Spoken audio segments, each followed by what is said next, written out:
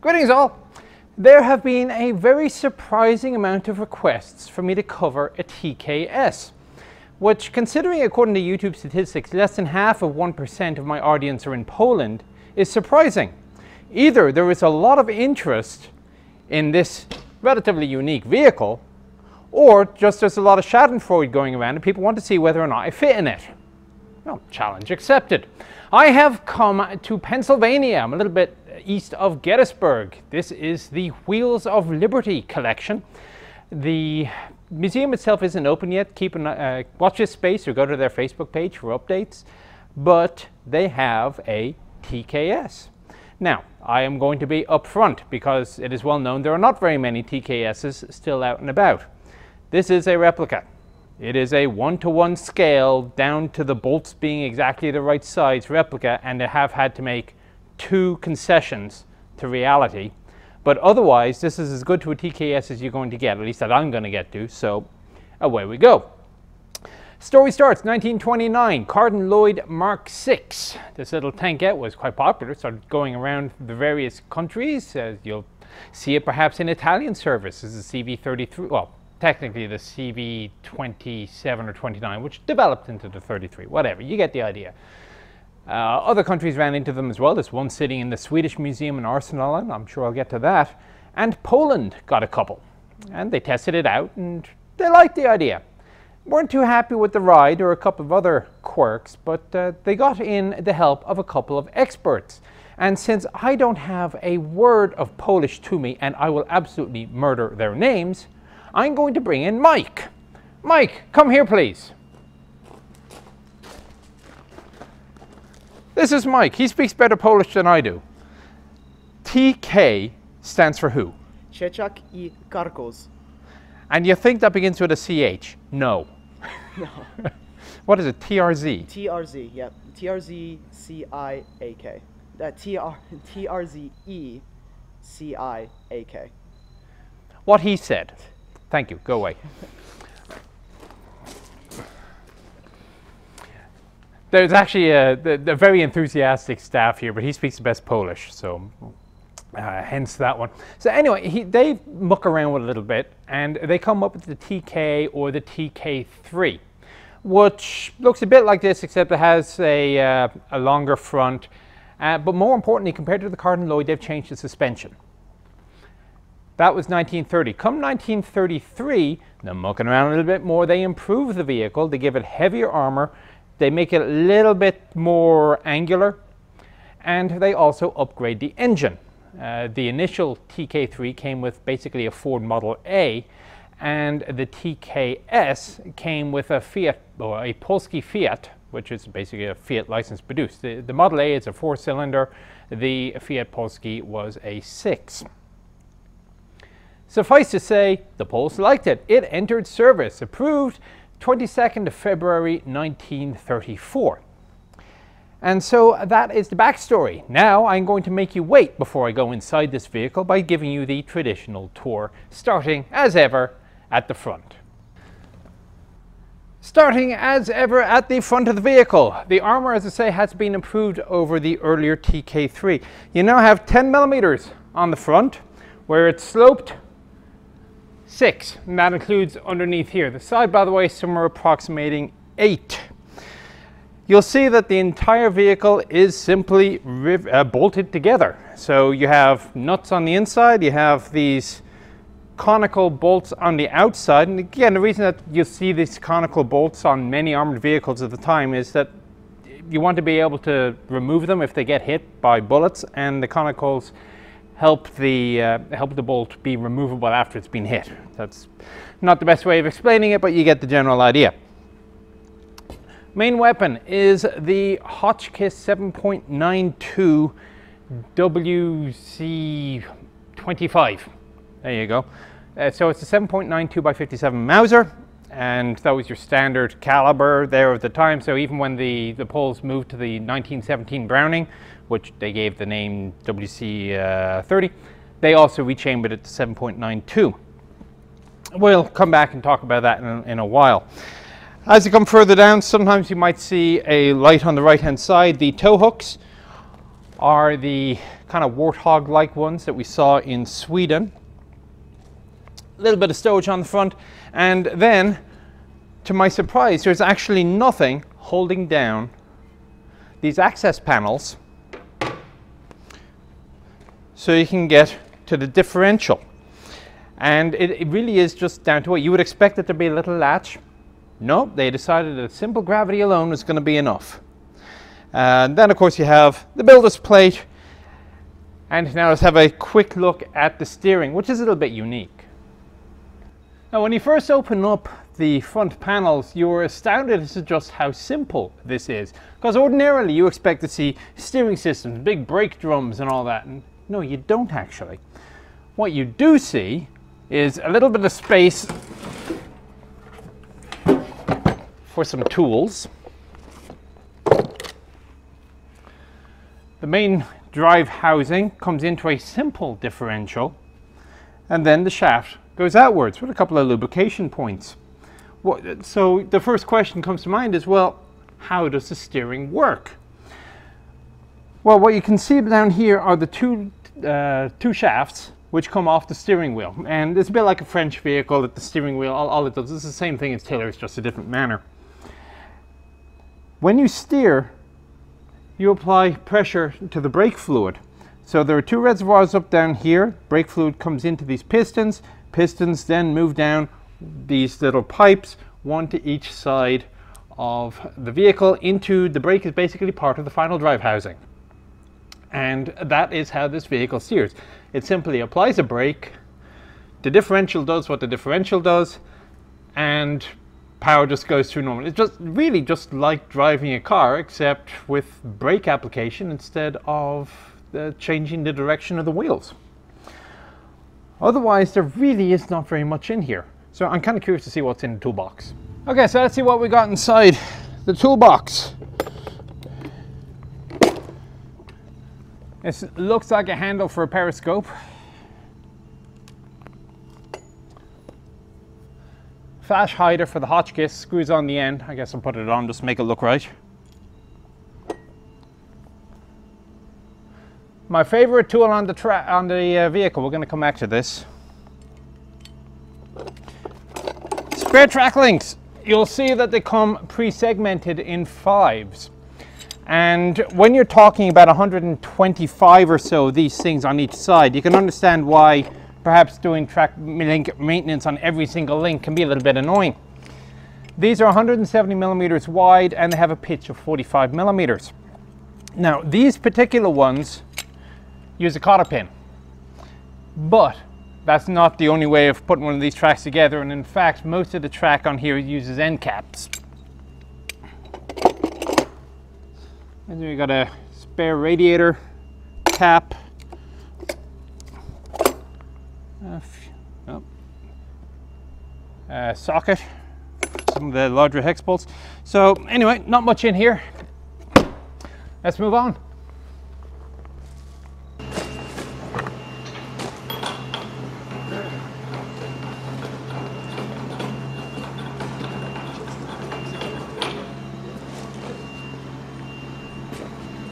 Actually, now that I come around to the sprocket wheel, I'm going to correct myself. I don't think this has a final drive. And it's just a pure straight drive shaft to keep things simple. Uh, and I guess it's a light enough vehicle, it may not need the gear reduction ratio. Instead, what it looks like I see here is the brake drum, which also means that it would appear that when you have to replace the brake pads, you got a break track, pull off the sprocket, and then you can open up the brake drum, which uh, strikes me as being a little bit annoying. So the guys that are driving around here are having a whale of a time. I don't know if they're thinking that far ahead that it's going to cost them in, uh, in blood and sweat to, to pay for all the driving around and braking that they're doing. Because remember, the only way this vehicle steers is by use of the brake. So, well, there you go. Small catch, but again, all done in the name of simplicity. So as I come around to the left hand side, oh, by the way, you're going to see a couple of these hatches scattered around. They will drop down. Uh, the gunner has a couple on each side as well. Get to the suspension. This is the big improvement over the original Carden Lloyds. Firstly, they've added leaf springs. So the rails here are simply guides. The forward and rear bogies each have a set of guide rails that they go up and down within, suspended by the leaf springs. Each bogie also has the wheel is suspended onto a leaf spring of its own.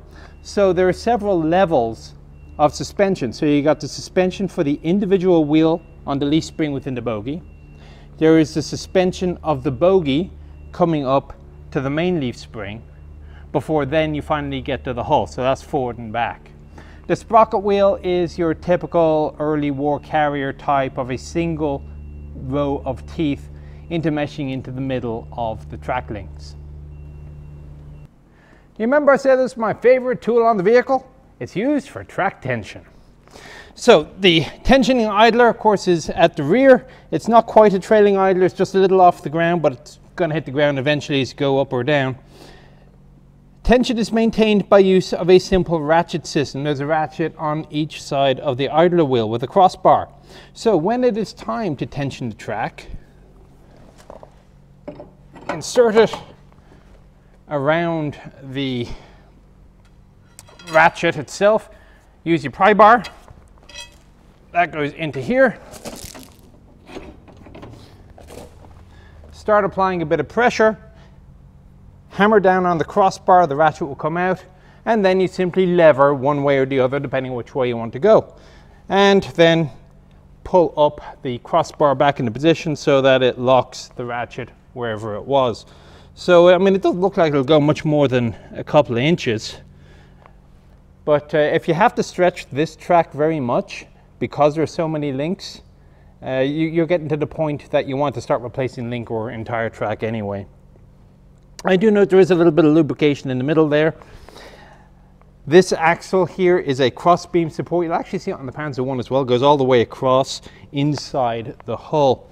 And of course, everything is just held together with screws and bolts with little cotter pins to make sure they don't come off in the most inopportune moment.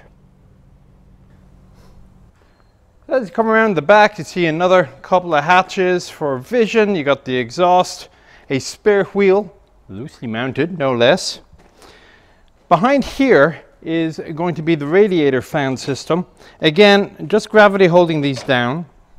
And you can also see one of the two concessions I mentioned to being a modern vehicle, and that is a modern battery. But then again, even World War II reproductions they will generally use a modern battery just for safety and convenience. Radiator fan here, as you can see, the radiator is at the rear of the crew compartment. It's drawn from inside, comes back in either out this mesh here or the grill here, or in case of extreme overheating possibility, you can even lower this flap down here and the air will come out in all three locations. What you'll see here is a lack of an engine. You've got to go way back here inside the crew compartment. We're going to have a look at that inside. And the other thing you'll see is a cutout. Uh, they've left the ceiling here, but this should be a cutout for an external hand crank should you wish to crank start the engine instead of using an electrical starter.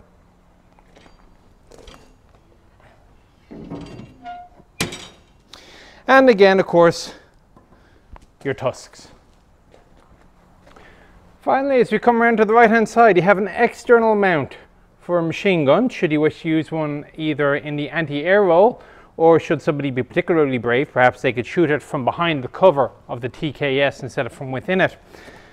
Up top, externally, you have your rotating periscope. There are mounts here for, some say signal flag. You can use them certainly to throw signal flags up the top. I believe you can also fit a searchlight or spotlight in here should you so desire. The hatches, the commander side is unfortunately a little bit smaller because of the fixed periscope panel to the front. So a little bit that's for that way. There's a double hinged flap to the rear. It's still plenty big enough, mind. So now the bit you've all been waiting for, do I fit in a TKS? So now the moment you've all been waiting for. Chieftain climbs into a TKS. Or maybe steps in is the better term, we'll see.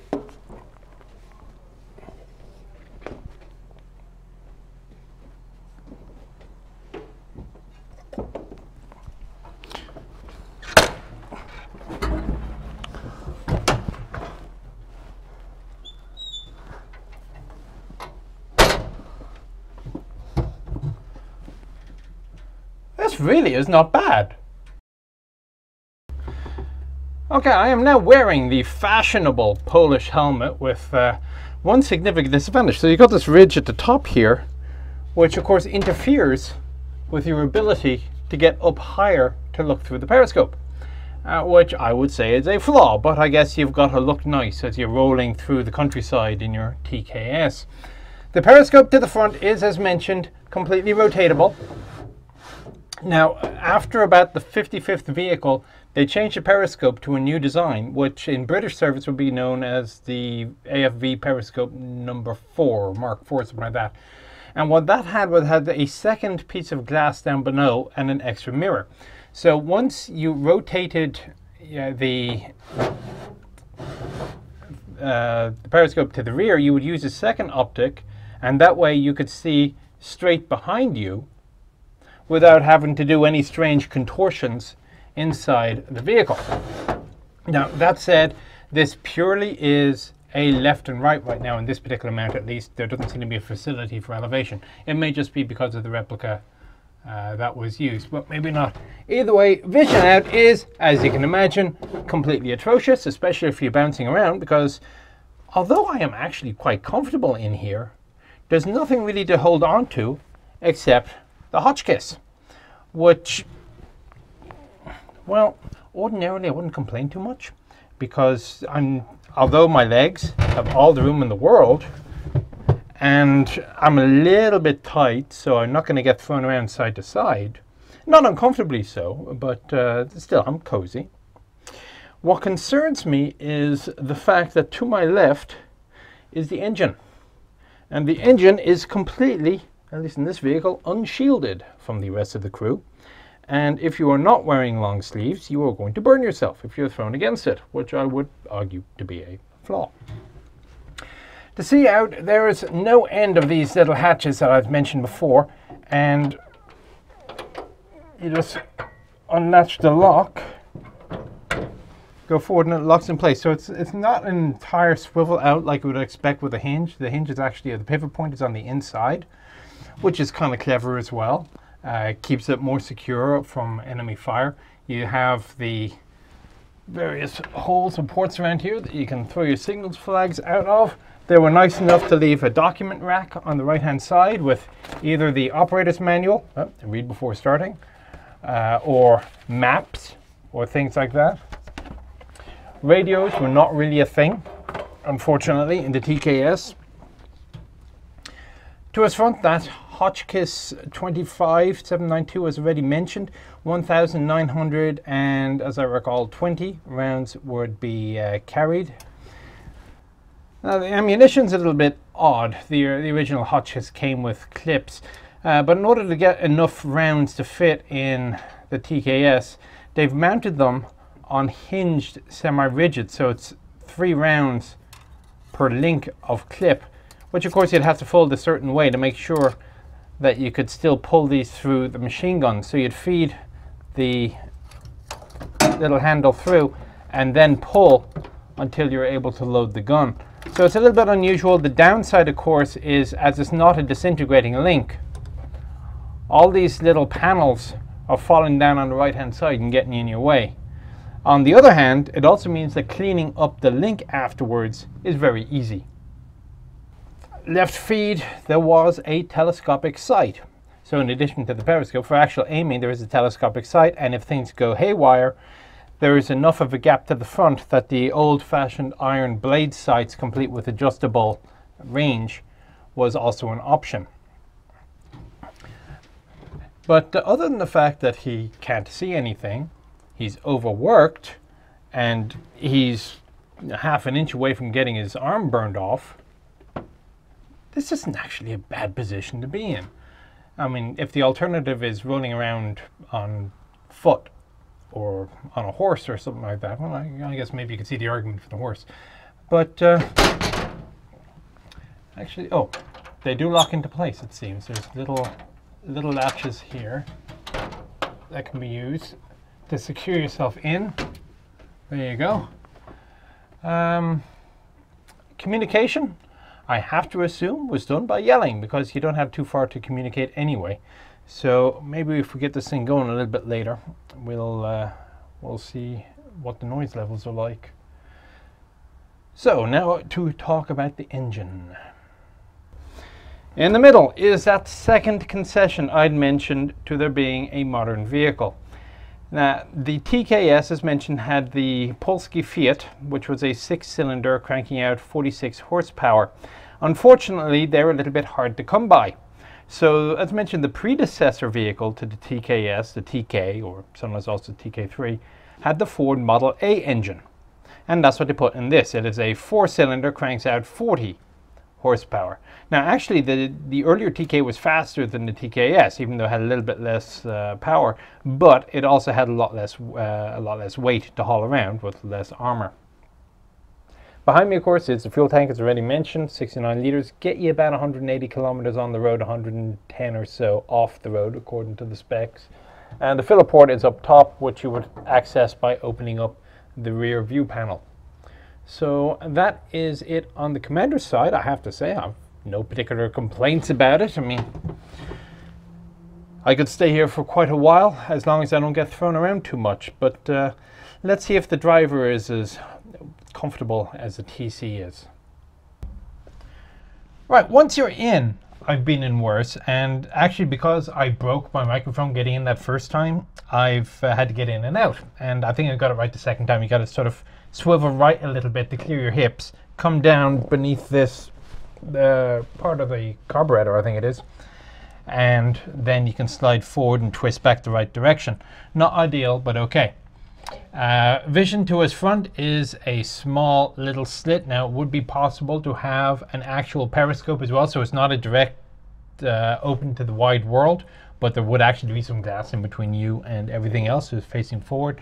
Obviously not mounted here. It does open up in the same manner as the as the last ones. Just simple forward, locked into place by use of this little lever down here.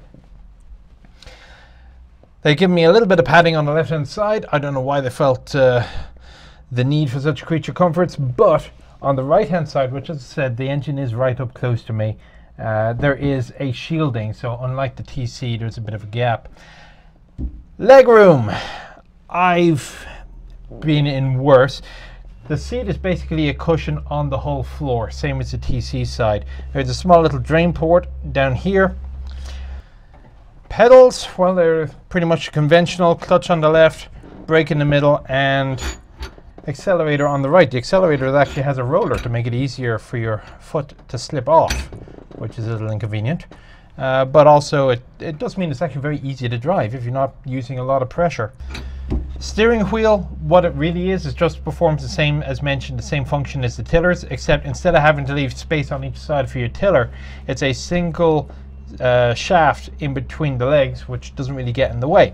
So it is a bit of a space saver, even if perhaps you get a little bit less leverage. But remember how this works. As you turn the wheel, all you're doing is moving this lever forward to activate the pistons down here for the brake fluid. And the spare reservoirs that mentioned for the brake fluids are up here. As you move a bit further around to the right, there's a very simple dash with fuel, amperage, and temperature. Ignition key in the middle, another slight modern modification. As you move to the right hand side, now remember, this is uh, based off of the Model A powertrain, not the actual uh, Fiat, Pol uh, Polski Fiat from the TKS. The Model A's came with a three-speed transmission, one reverse. The TKS actually came with a four-speed transmission, one reverse. Uh, it's the engine shielding does kind of get a little bit in the way, but it's tolerable. And forward is the choke, and you can see the drive shaft just goes straight forward. So outside of the noise, not too bad. Yeah, the transmission, of course, is located just back here. Uh, he won't be bouncing around too much. As you move around to the right, well, we have the air intake is over the uh, left shoulder, comes in here to the carburetor and then in. Behind me, you can see the coolant reservoir for the radiator, which is directly beneath me. Directly beneath, you're going to see a hole in the floor. And this is a hatch for two purposes. Firstly, it is increased cooling air, especially if your hatches are shut up top, that can be drawn up into the radiator and then out the back. Also, if this thing was converted for rail car service, which was a thing, various mechanisms for rail car usage would have gone through the uh, hatchback here and then to the rail car system. Hopefully there is actually a cover for this hatch. There doesn't seem to be one on this particular vehicle. Otherwise, the fording depth of five centimeters is going to result in the crew getting a little bit damp, which is unfortunate. It kind of sucks to be wet in an armored vehicle. I don't know if you've ever tried it. You think it's bad being outside the armored vehicle. Inside, it's pretty horrible. So outside of that, uh, top speed is mentioned about uh, 40 kilometers to the hour. Uh, it's got another hatch to the rear. There really isn't anything else in here. So what I'm going to do now, because everybody wants me to do it, is close up the hatches and see how long it takes me to get out. Okay, I have now sealed myself in. There is a number of latches in the top here. There's a broken weld up here, so I'm going to, have to be a little bit careful opening it up so I don't break the tank any more than I need to. But in the time-honored manner, oh bugger, the tank is on fire. Two, or not.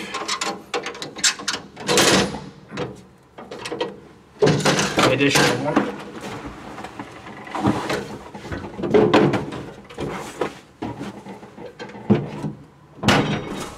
Okay, now people do always complain that I don't necessarily make the best test subject for the tank is on fire test.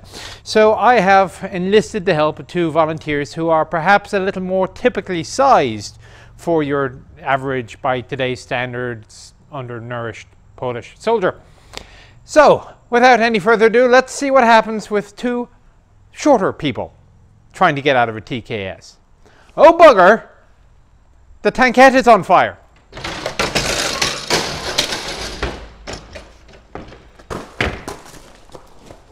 They had more practice than I have, that's for sure. So there you go, the TKS by popular demand. Now, for a 1930s vehicle, this really isn't bad at all. I mean, I can fit in it, I can operate it, and of course you saw how quickly the smaller folk got out. About 500 were made, a little over, and famously about two dozen, a little under, were converted to have a 20mm anti-tank cannon. However, they were the rarity. The vast majority came with this machine gun. Export sales were limited. Estonia bought six.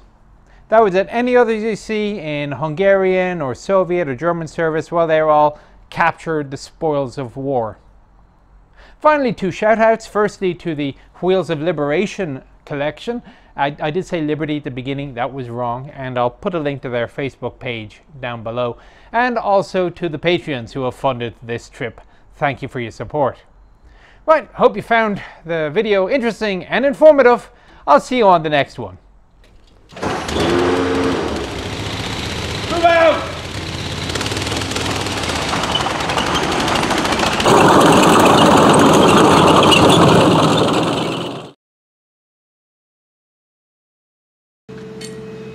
You'll see that the track links come in segments.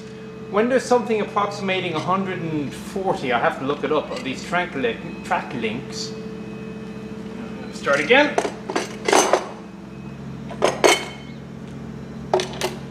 I'm going to look up how many track links there are.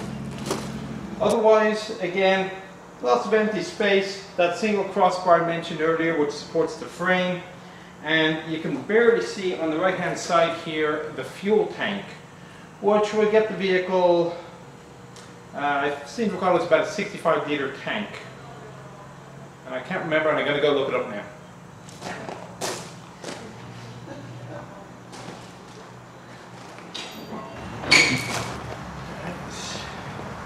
here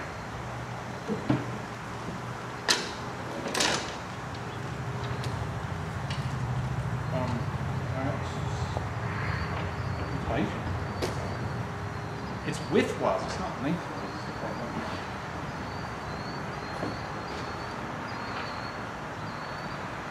How do you have to be?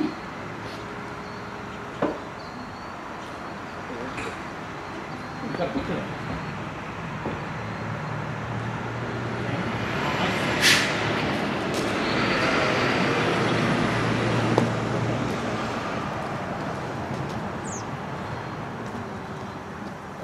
putting out the audio recorder had something to do with that. But it's still oh, cozy. At least have a heat shield on this side. But the vast majority kept with this regular machine gun. And for a 1930s vehicle, this really isn't a bad design that even I can operate and crew. Now, of course, don't get me wrong, this is not a tank, don't mistake it for a tank. It was actually acquired as a reconnaissance or cavalry vehicle. But it did prove to be the bulk of the Polish armed, uh, armored forces at the Great